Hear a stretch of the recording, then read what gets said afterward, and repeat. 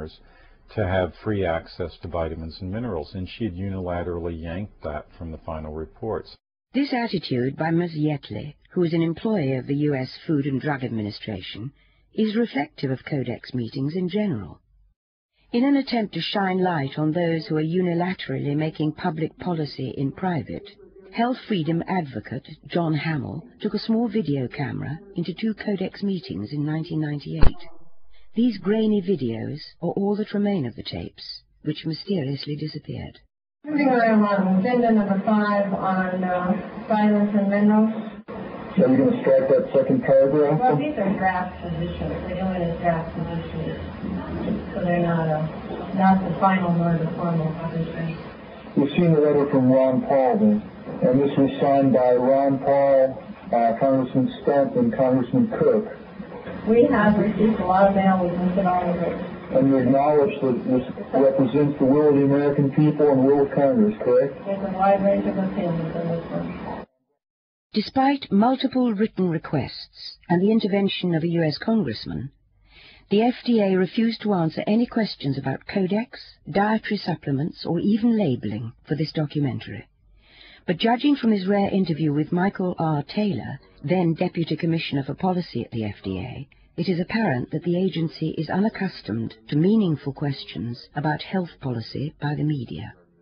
You stated your concern, and the FDA certainly has, on, on mm-hmm. L-tryptophan. Uh, what about your concern regarding something like Prozac, that very well documented 28,000 mm-hmm. adverse reports, uh, uh, 1,600 suicides mm. associated with that drug? Um, well, you drugs that go through our uh, very rigorous uh, testing and, and, review process are very well understood chemicals, and drugs are recognized to have both risks and benefits. Uh, that's why they go through a rigorous evaluation, and when those products are put out on the market, we have a good scientific understanding of both the risks and benefits, and that's laid out in very detailed labeling that physicians then use to decide whether to prescribe those products for their patients. Side effects are part of pharmaceuticals. That's recognized, and that's why we're so careful scientifically. There's just no comparison between that situation and what we are dealing with with dietary supplements, which have not been subjected to that kind of study, have not been evaluated by FDA. And a large part of the problem with these supplements is that we simply don't know uh, about their safety. We don't know about their benefits, uh, yet they're being out there marketed uh, for, in some cases, for serious disease-related purposes. There's a big difference. Well, obviously, they, they would say something along the lines of that it was the only natural alternative to some of these kinds of, of drugs, and and that's a concern to people that want natural alternatives, right. I suppose. Right. Um, and since the case, the cases against Prozac have been so high, mm-hmm. um, people would question whether or not the health uh, risks of L-tryptophan, again, versus a, a Prozac and right. that kind of usage is. Uh, judged under the same standards, if you will. Well, yeah, in terms of what's on the list of things we were going to get into today. Well, he mentioned L-tryptophan, and it just... Uh, As the producers tried to get an answer from the Deputy Commissioner of the FDA, so it really... Mr. Taylor seemed to lose his patience with the tone of the interview. Mentioned, so I, I thought I would follow up on it. Kurt, turn the camera off. We can talk. You know, I'm happy to talk about this. I don't want to spend the whole morning on it. But of course, Mr. Taylor was anything but happy to discuss the safety record of Prozac versus the amino acid L-tryptophan, which the FDA banned outright when Prozac was approved by the agency. And it is important to note that the Food and Drug Administration has assigned Mr. Taylor's wife, Christine Lewis Taylor, to the World Health Organization, where she is now chairwoman of the Nutrient Risk Assessment Project. I don't think that you can say that anybody at FDA has ever been a friend of dietary supplements. Anybody.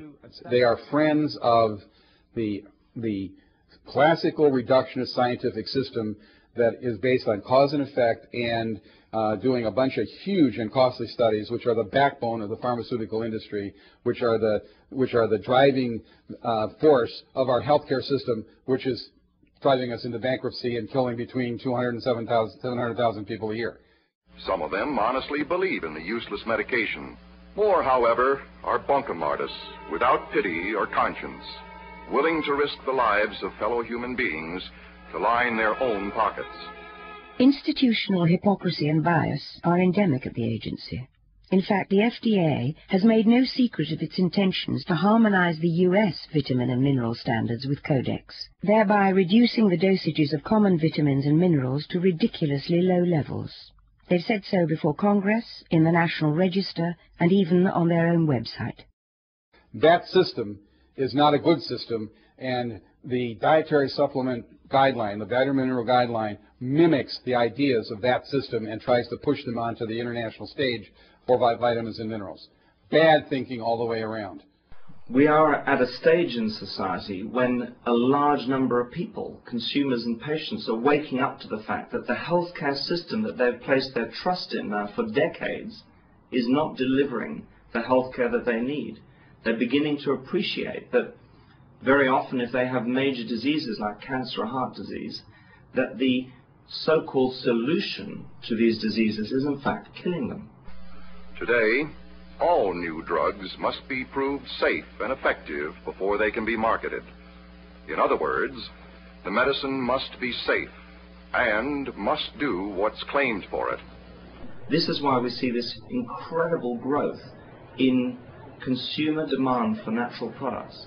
And of course, just as the consumer is starting to make decisions about what they want to do in healthcare, the regulators have decided, with a lot of pressure from big industry sectors, to say, you can't have it. It's reserved for us. When the WTO, the World Trade Organization, became a reality in the 1990s, the power of Codex was heightened immeasurably. This new worldwide body, devoted solely to the harmonization of trade standards, gave Codex the enforcement capability that had eluded it for decades. Two U.S. congressmen, a Democrat and a Republican, have a philosophical divide on free trade, but agree completely on the dangers of the WTO and Codex.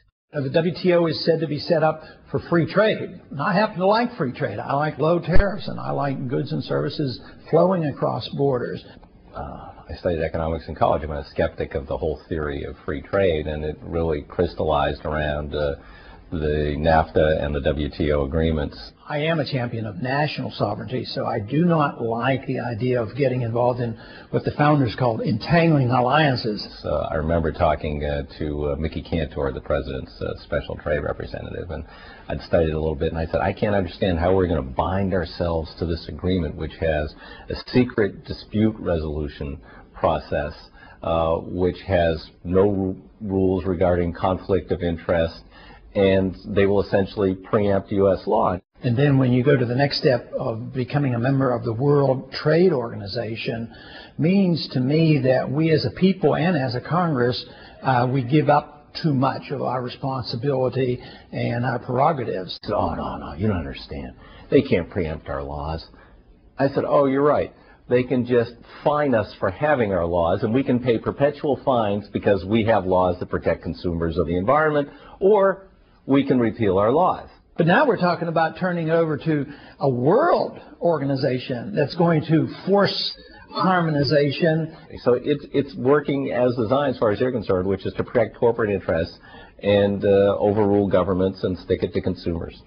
And they'll do that under the name of free trade and globalization and pretend that they're on the on, on the side of, of, of freedom.